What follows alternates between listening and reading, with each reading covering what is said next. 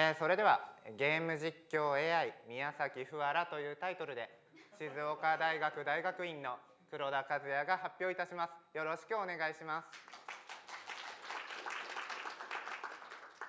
まずはプロジェクトの概要から説明していきます。本プロジェクトはタイトルにあるようにゲーム実況を行うシステムの開発をするプロジェクトです。ゲーム実況って何？という方もいるかと思うのでそこから始めていきましょう。ゲーム実況動画すなわち実況プレイ動画とはプレイヤーが実況しながらゲームをやった様子を収めた動画であるとニコニコ大百科に記されています。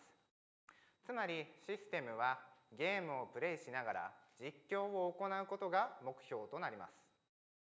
ただし今回ゲームのプレイは人間に委ねています。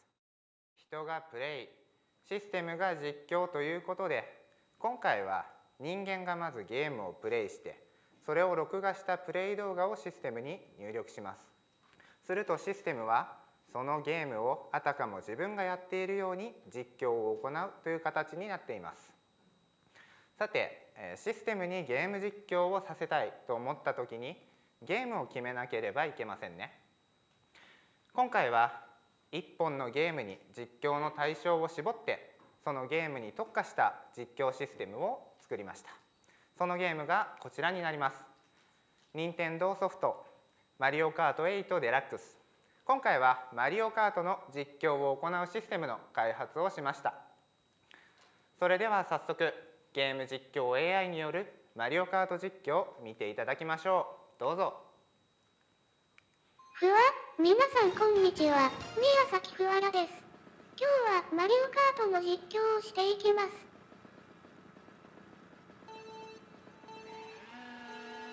スタートふわ。ちょっと待ってこれはちょっと。よしここで加速。よし。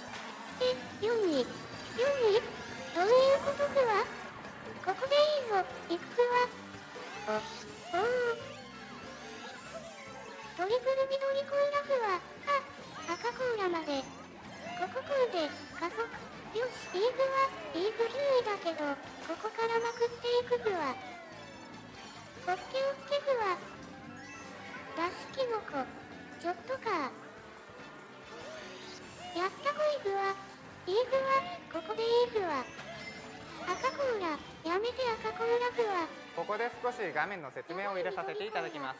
皆さんまずはゲーム画面にご注目ください。マリオが持っているアイテムやコース上のコインが赤い枠で囲われていることがお分かりでしょうか。またゲーム画面から少し離れて皆さんから見て右上に順位やアイテムなどがまとめて表示されていることお気づきでしょうか。これらは両方ともキャラクターからゲーム画面がどのように見えているかということをこの画面上に表示しています。また右下にいるのが、えー、キャラクターでこのキャラクターゲームの状況に合わせて笑ったり怒ったりしていることお気づきでしょうか？ご確認ください。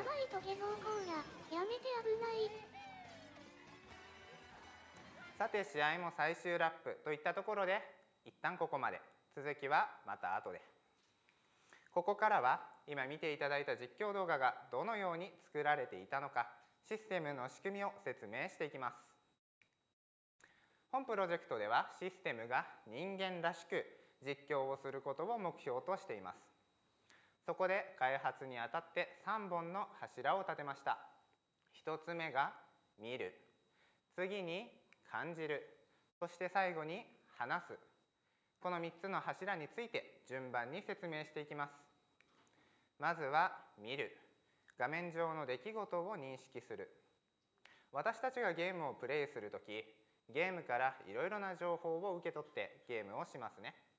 ここにあるように画面を見たり画面ゲームから出る音を聞いたりコントローラーの振動を受け取ったりします。今回はその中でも情報量の多い見るという行為をシステムにもできるようにしました。こちらはマリオカートのワンシーンになります。システムがゲーム画面を見る前に私たち人間の目に何が見えるか確認してみましょう。まず真ん中にいるのが私たちが操作するキャラクター。私たちはこのキャラクターの状態やどんな動作をとっているか見ることができます。また画面中には現在の順位だったり持っているアイテムコインの枚数やラップ数などが表示されています。またコースを走る時に目の前にキノコが落ちているとかバナナが落ちているといった情報も私たちには分かりますね。ではこれらの情報をシステムも見ることができるようにしていきましょう。今回はシステムが画面を見るために深層学習のモデルを3つ用意しました。1つ目は画像認識。こちらは画面の中で常に同じ場所に表示される情報の認識を行います。次に動作認識。私たちが操作するキャラクターの動きを認識します。最後に物体検出。こちらはコース上に落ちているアイテムなどの検出を行います。順番に見ていきましょう。まずは画像認識。モデルは CNN です。認識と認識の対象となっているのはこの右側の画像の中ピンクでピンクの枠で囲ってある情報です。例えば一番右下にある順位。順位は常にこの位置に表示されます。なのでこの画像1枚に対してピンクの枠の中で1位から12位のどの順位が表示されているかというのをこのモデルは認識します。分かりやすくするとこんな処理を行っています。次に動作認識。こちらは LRCN というモデルを使っています。こちらは先ほどとは違い1枚の画像ではなく1秒分の連続した画像をもとにその1秒の間でどのような動作を行っているか認識しています。図にするとこんな感じになります。システムは連続した画像をまとめて受け取ってこのまとまった画像の中でクラッシュしているということを認識しています。最後に物体検出。こちらは SSD というモデルを作成して使用しています。このモデルでは画面上のどこに何があるかを検出します。今回は検出対象として各種アイテムアイテムを取るためのアイテムボックスそして敵プレイヤーであるクッパの検出を行うことができます。処理を図にするとこのような形になります。ゲーム中のワンシーンをそのまま入力するとどこの座標に何があるかというのをキャラクターは検出します。このような3つのモデルを使って先ほど確認した私たちが見た情報と同じ情報をシステムも見ることができるようにしています。ただしここでもう一つ考えることがあります。3つのモデルを作っても学習するためのデータがなければシステムは画面を見ることができません。そこで本プロジェクトでは学習を行うためのマリオカートコーパスそしてマリオカートコーパスの作成支援システムも開発しています。後ろで動画が流れているのは最後に紹介した物体検出 SSD のデータを作っている様子です。このように3つのモデルそれぞれについて学習データを作ることでキャラクターはゲーム画面を見ることができるようになりました。これによってゲーム画面だけ表示されているところにキャラクターから見た画面も表示できるようになりました。画面を見ることができるようになったので次に行きましょう。感じる。試合の展開に一喜一憂ということで私たちがゲームをしている時喜んだり怒ったり時に悲しんだりしますね。このような感情の表現をシステムにもできるようにしましょう。まずは感情を表現するためのモデル。今回はラッセルの円環モデルという感情モデルを参考に喜怒哀楽の4つの感情を表現するモデルを用意しました。このモデルは快不快を表す横軸と眠気から覚醒を表す縦軸。この2軸を使って喜怒哀楽を決定します。各軸をどのように決定しているか見ていきましょう。まずは横軸です。快不快を表すのには先ほどの画面を見た結果を使っています。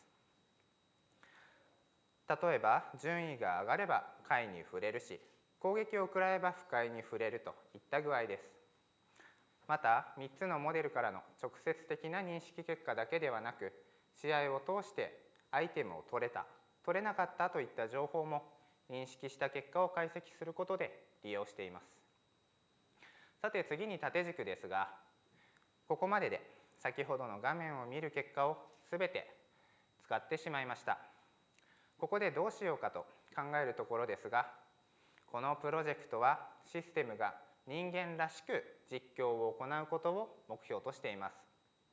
そこで今回は一度人間から試合中にどのぐらい眠いのか覚醒しているのか教えてもらうことにしました。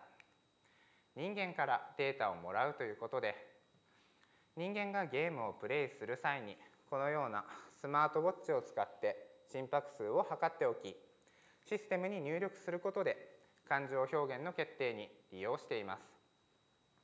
このように画面を見た結果と人間から教えてもらった2つのデータでキャラクターは喜怒哀楽を表現しています。これによって画面を見ていたところに笑っているキャラクターが表示できるようになりました。さて見る感じるときたので最後は話す。ですがその前に一つキャラクター紹介を挟みます。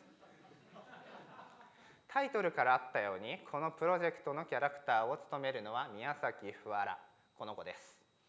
誕生日は6月18日語尾はふわ声のアクエストークというのは株式会社アクエストが販売しているライブラリで実況動画などではゆっくりの声としてよく使われている声です。またチャームポイントはヘアピンです。このヘアピンにはちゃんとモチーフがあるのですがこれをパッと見でわかる方はいるでしょうか？今回はゲーム実況 AI を作るということで人工知能ではよおなじみのパーセプトロンがモデルとなっています。ヘアピンの中に真ん中にニューロン。ニューロンに対する2つの入力と1つの出力が描かれていることお分かりでしょうか。さてキャラクター紹介はこのぐらいにして最後話すに行きましょう。話すリアクションを取るということで今回はシステムが人間と同じようにリアクションを取れるようにしましょうということです。人間と同じようにリアクションを取るにはまずは人間がどのようにリアクションを取っているのか分析するのが良いと考えました。現在ですねいろいろな方がマリオカートの実況を行ってその動画を動画投稿サイトなどに投稿しています。そこで今回はそれらの動画から人間がどのようなタイミングでどのようなリアクションをとっているのか分析を行いました。この分析を行うことで先ほどの見る感じるの結果と合わせて人間と同じようにリアクションを取ることができるようになりました。めでたし。とはいきませんね。なぜめでたしといかないかというと動画をたくさん作っていくと分析したデータだけでは同じタイミングでは毎回同じリアクションばかり出てくることになります。そうすると動画が増えるたびだんだん機械っぽく感じてきてしまいます。そこで今回は人間から分析したリアクションに加えそれをもとにそこに存在しない新しいリアクションを作るということをしました。自分なりのリアクションを生み出すということで RNN というモデルを使って人間から分析したリアクションの言語モデルを作りそこから新しいリアクションを作りました。とても大雑把に説明するとなんとなくこんなことやってるんだなと思っていただけたらいいかなと思います。このように人間から分析したリアクションに加え自分なりのリアクションを新しく作ることで例えばバナナを手に入れた時にもこのように多様なリアクションを取ることができるようになりました。しかしこの自分自動で作ったリアクションはまだシステムこれどのタイミングで打てるかっていうのは分かりません。あくまでこの文字列を作っただけだからです。そこで今回はこの新しく作ったリアクションをどこで打てるか自動分類も行いました。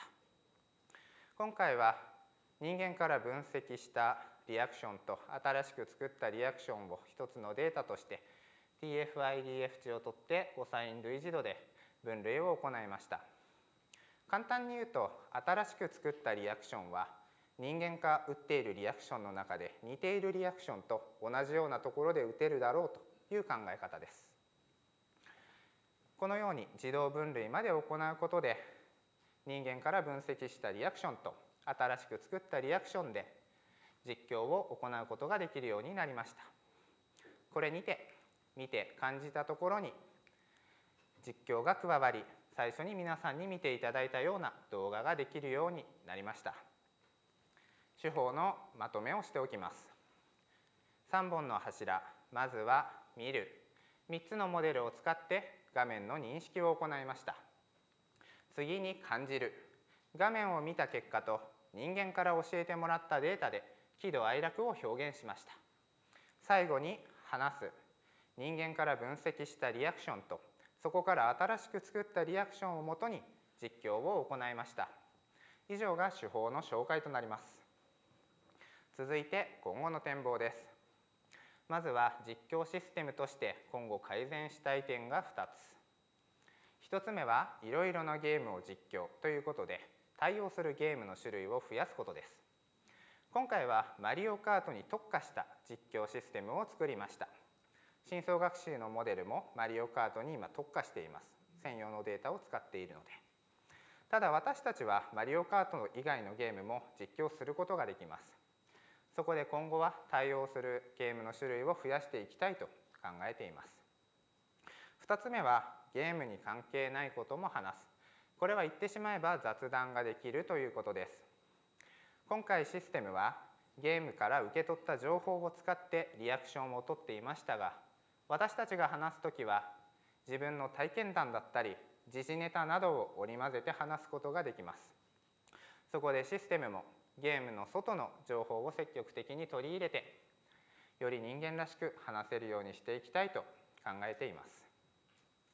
またもう一つゲーム実況の先を目指してということで今回はあくまで、えー、一ゲーム実況者としてシステムを開発しました、えー、今後話すの部分を一人称ではなくゲームを三人称視点で見て話す。またシステムをリアルタイムに動くようにするといった改良を行っていくことで e スポーツなどの競技の実況という方向にも展開していけるのではないかと考えています。今後の展望は以上となりますが私の発表はまだ終わりません、え皆さんに最初に見ていただいた動画3週目に入ったところで終わってしまいましたね。皆さんあの続きが気になっていると思います。あの続き私の発表終了後お昼の12時にニコニコ動画 YouTube に投稿されますので私の発表終了後ぜひご覧ください。宮崎ふわらの AI ゲーム実況パート10です。